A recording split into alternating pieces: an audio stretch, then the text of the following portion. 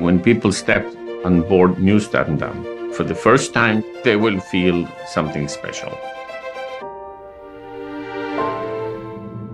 We came up with a concept that whispers the architecture of music.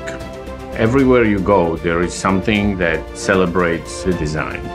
I want you to say, wow.